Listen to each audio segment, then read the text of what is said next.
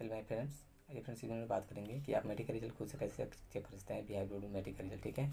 इसके लिए आपको इस वेबसाइट पर जाना पड़ेगा इस वेबसाइट का लिंक मैं आपको वीडियो के डिस्क्रिप्शन बॉक्स में डाल दूँगा। आप डायरेक्टली वहाँ से यहाँ पे आ जाइएगा, ठीक है? तो यहाँ पे आने के बाद आपको इस पर क्लिक करना है, ठीक है? तो चलिए इस पर मैं क्लिक कर दे रहा हूँ। जैसे इस पर क्लिक कीजिएगा तो यहाँ पे रोल नंबर डालने के लिए बोले, रोल कोड डालने के लिए बोले। चलिए इस पर मैं रोल कोड अपना डाल दे रहा हूँ, ठीक है? जैसे यहाँ पे रोल कोड हम डालेंगे तो फिर यहाँ पे हमको रोल नंबर डालना है, ठीक है?